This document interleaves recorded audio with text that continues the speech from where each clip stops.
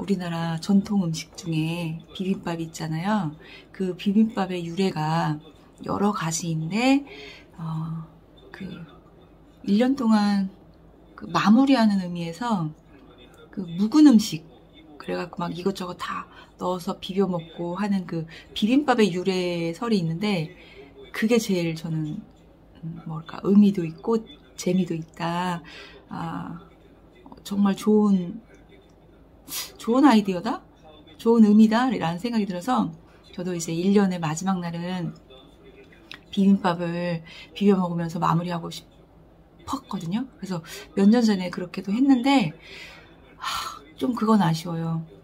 이제 코로나만 아니었어도 제가 집에 사람이 북적북적한 걸 되게 좋아해요. 그래가지고 아, 예전 동료 선생님들 우리 집을 초대해갖고 집에 있는 반찬 하나씩 들고 오라고 해가지고 커다란 그릇에 이제 밥 담고 그 각자 갖고 온 나물 담아가지고 막 쓱싹쓱 비벼 먹으면 얼마나 재밌고 맛있을까 막 이런 생각을 했는데 이제 오늘은 그냥 이제 동네 지인 초대해서 비빔밥을 이제 해 먹으려고 해요. 그래서 일단은 솥밥을 해야 돼서 그것도 안 쳐야 되고 그분이 또 오후에는 일을 해야 되니까 11시에 초대를 했어요.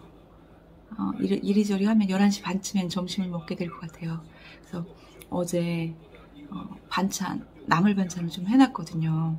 원래는 이제 집에 이제 묵은 나물 같은 거 이렇게 갖고 비벼 먹어야 되는데 애들이 비빔밥을 안 좋아하다 보니까 저만 좋아하다 보니까 반찬이 없었어요. 그래가지고 막 그 슈퍼에 가서 다 사다가 나물을 일단은 네 가지를 해놨어요.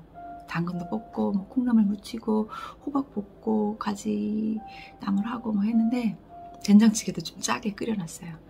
일단은 어, 머님이 주신 고추장, 어머님이 농사지어서 짜서 준 들기름 뭐 이런 것들이 있다 보니까 어, 나물 몇 가지만 있으면 정말 맛있을 것 같아요. 일단 제가 그래서 좀 바빠요.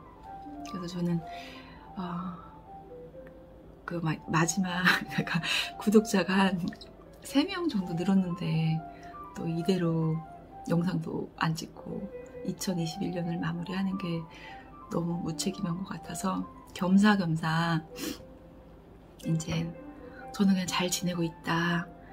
음, 이렇게 머리카락은 어, 되게 얇아졌어요. 그래가지고 요, 요 지금 이 시기가 너무 지루한 거예요.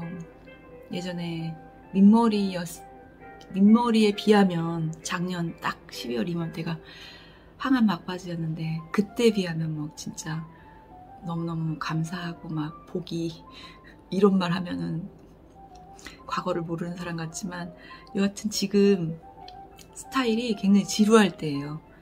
그래가지고 이제 이번에 또 문득 그냥 그런 생각이 들어요. 이 옆머리가 되게 지저분하게 자라는데 머리를 기르려면 이 과정을 이 과정을 잘 견뎌야 하고 병을 치료하려면 어떤 과정을 지나야 하고 그냥 아 이게 인생이구나 음.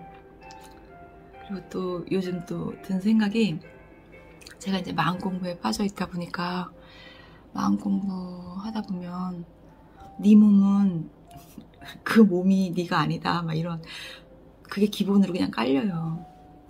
근데 이제 지금 이 세계에서 사는 우리는 이 오감을 느끼는 이 몸이 너무 중요하잖아요. 그래서 자칫 몸을 되게 중시하는 사람이 마치 어 뭐랄까 차원이 낮은 사람 취급을 당할 수도 있는데 저는 그런 생각이 들었어요.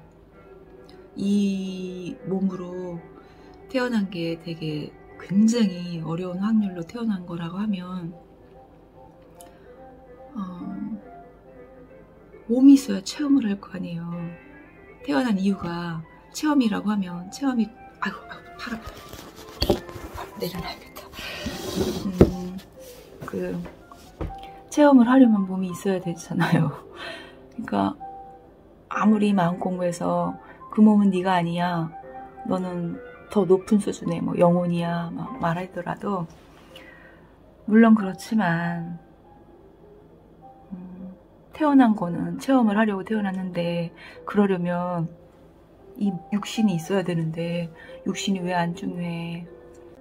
저한테는 그런 것들이 와닿긴 한데 음, 이번에 아프면서 깨달은 건 어, 물론 영혼이 중요하고 마음 공부 중요하지만 육신이 있어야 체험을 할수 있어.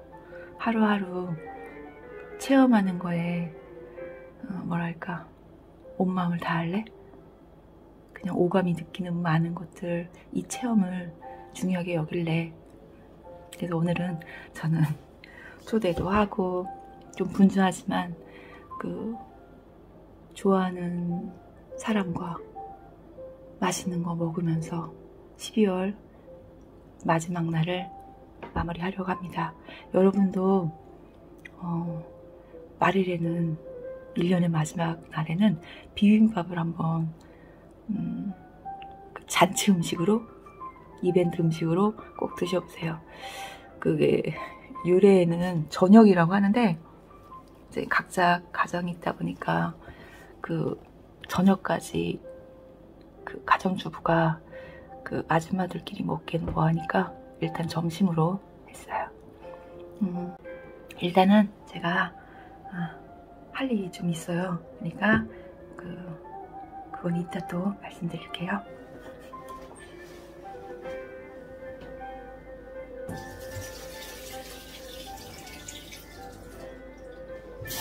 Thank